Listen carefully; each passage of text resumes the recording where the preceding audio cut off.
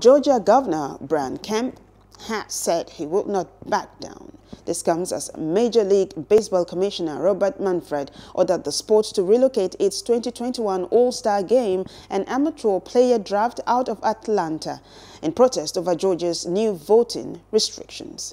Georgia last week strengthened identification requirements for absentee ballots, shortened early voting periods for runoffs, and made it a crime to offer food and water to voters waiting in line.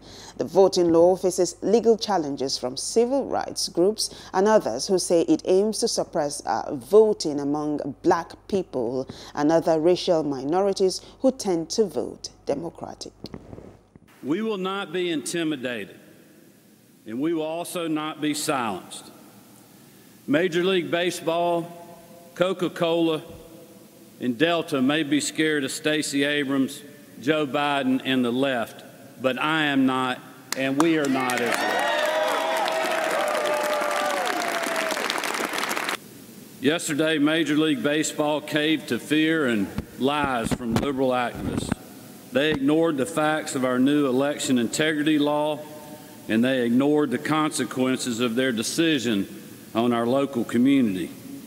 In the middle of a pandemic, Major League Baseball put the wishes of Stacey Abrams and Joe Biden ahead of the economic well-being of hardworking Georgians who were counting on the All-Star game for a paycheck.